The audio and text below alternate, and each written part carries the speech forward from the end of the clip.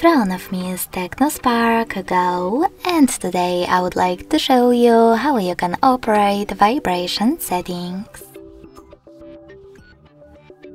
You need to start by going into settings and scrolling down just a bit to access sound and vibration.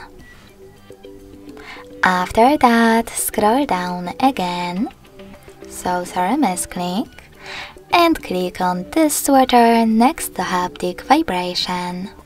This way you will turn them on or off.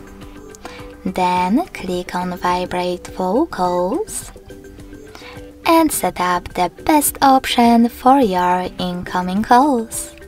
Never vibrate, always vibrate or vibrate first then ring quarterly.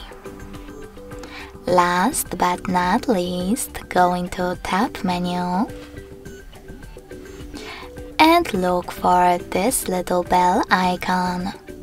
When you click on it when it says mute, it will turn into ring.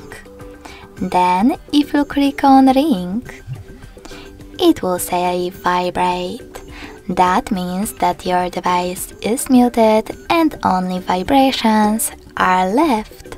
You can switch off vibrations by clicking on vibrate to get into mute or ring mode.